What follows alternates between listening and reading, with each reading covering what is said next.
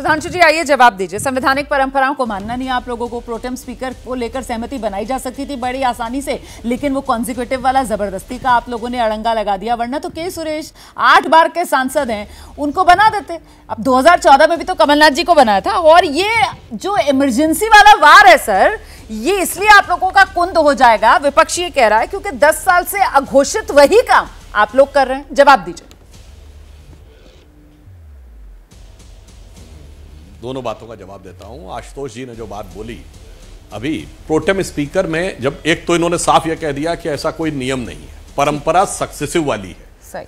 अगर आप ये कहेंगे कि बीच में गैप के बाद तो बहुत मैं याद 2004 में पूछना चाहता हूँ जब मनमोहन सिंह जी की सरकार आई थी पहली वाली यूपीए वन तो अगर सक्सेसिव वाला हटा दिया जाए तो सबसे लंबे समय से कौन था सांसद? जॉर्ज फर्नांडिस, अटल बिहारी वाजपेयी बनाया था क्या प्रोटेम स्पीकर? तब आपने कहा नहीं, सक्सेसिव जिसके होंगे। तो बाबा साहब विखे पाटिल को बनाया था। अब चूँकि आपको हर विषय को लेकर वितंडावाद करना है, इसलिए आप कह रहे हैं सक्सेसिव नहीं। चलिए, आपने कहा सुरेश कुडिकुनल जी के प्रति आपके मन में बहुत भाव विभोर हो रहे हैं। तो मैं पूछना चाहता हूँ, क्या वो नेता सदन बनेंगे? जो नेता प्रतिपक्ष बनेंगे? या वो केरल के आगामी चुनाव में कांग्रेस के या इंडी गठबंधन के मुख्यमंत्री पद के उम्मीदवार बनेंगे? नहीं बनेंगे।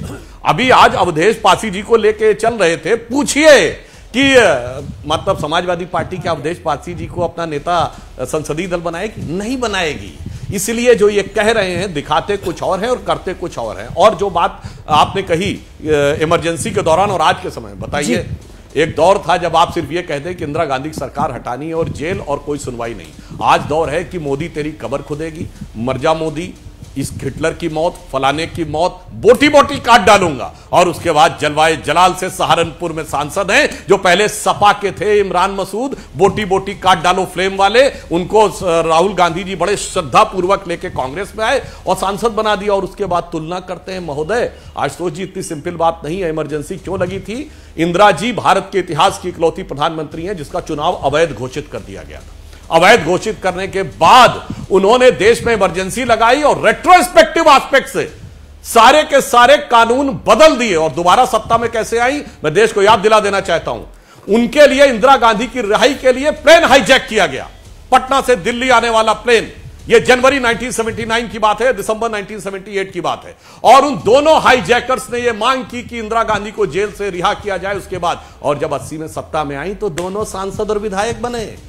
देश में पहली बार इन्होंने व्यवस्था यह बनाई और आकर आज कहते हैं कि हम संविधान की बात करते हैं। इसीलिए मैंने बताया, ना सुप्रिया जी ने एनएसी का जवाब दिया, ना और मैं याद दिलाना चाहता हूँ, सोनिया जी को इस्तीफा देना पड़ा था यूपीए वन में ऑफ़िस ऑफ़ प्रॉफिट के मुद्दे पे। वह एनएसी की चेयरमैन भी थी और सांसद भी थी। याद करिए इस्तीफा देना पड़ा था पहले जय बच्चन को हटाया था फिर उनको इस्तीफा देकर रीएलेक्ट होकर आना पड़ता। संविधान का मज़ाक शुरू से लेके और 2014 तक लगातार मैंने कम से कम पाँच छह उदाहरण बताए हैं और मेरा पूरा विचार है इनके पास किसी उदाहरण का कोई टेक्निकल जवाब नहीं होगा। अभी इधर उधर की बातें की जाए तो सुप्रिया जी मतलब चुनाव तो खत्म हो गया। अब जब संविधान पर बात होगी तो फिर बीजेपी तैयार है संविधान के मुद्दे पर ही पलटवार करने के लिए। और एक के बाद एक वो अलग अलग आपको इवेंट्स याद दिला रहे हैं, उसके ज़रिए वो आईना दिखाने का काम कर रहे हैं। और कल तो 25 जून है, वो बाकायदा इमरजेंसी की बरसी पर देश भर में कार्यक्रम करेंगे प्रेस कॉन्फ्रेंस करेंगे। तो क्या लग रहा है, कहीं संविधान वाला मुद्दा उल्टे कांग्रेस के गले की हड्डी तो नहीं बनने वाला है? इस देश का संविधान कभी किसी के गले की हड्डी नहीं बन सकता है। इमरजेंसी वाला मुद्दा। संविधान इस देश का सबसे इमरजेंसी वाला मुद्दा। वो ग्रंथ है। एक मिनट बोलने दीजिए मुझे। बीच में मत बोलिए आप बोल चुकी हैं, अब मैं बोलूँ? जी। थैंक यू इस देश का संविधान कभी किसी के गले की हड्डी नहीं बन सकता जैसा कि आपने कहा। इस देश का संविधान इस देश की सबसे बड़ी ताकत है इस देश की आत्मा है और उसी संविधान से यह देश चलेगा। यह बहुत बड़ा मैसेज 400 पार 400 पार करने वाले लोगों को जनता ने 240 पर रोककर दे दिया है। तीन साल में नरेंद्र मोदी जी माइनॉरिटी में है, घटक दलों पर निर्भर है। घटक दल, जिनको बैसाखी भी कहा जा रहा है और वो बवाल मचा रहे हैं। यहाँ पर जदयू के प्रवक्ता बैठे हैं, पूछ लीजिए, अग्निवीर हटना चाहिए कि नहीं हटना चाहिए?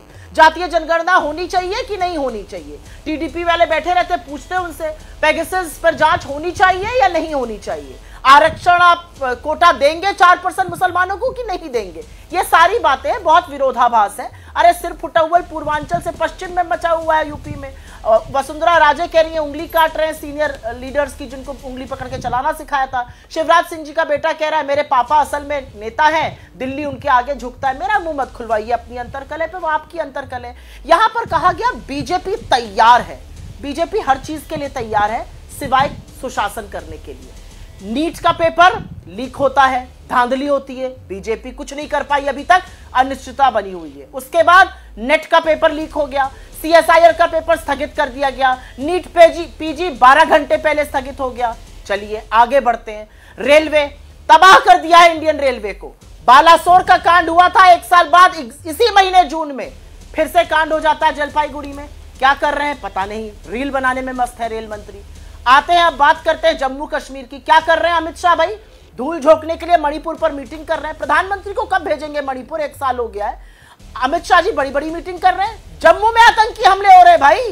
पहले तो कश्मीर में होते थे। श्रद्धालुओं की बस पर आतंकी हमला है हो रहा है। आतंकी मुठभेड़ में हमारे शहीद सैनिक हो रहे हैं। ठीक है। जैसे ही घड़ी का काटा दोपहर ढाई पे आए बबीता जी का दिल सास बहू साजिश के लिए मचल जाए। और ये है इनकी बहू।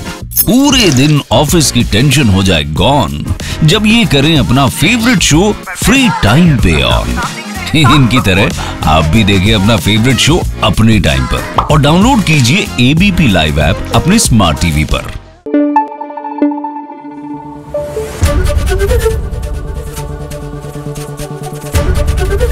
एबीपी न्यूज़ आपको रखे आगे.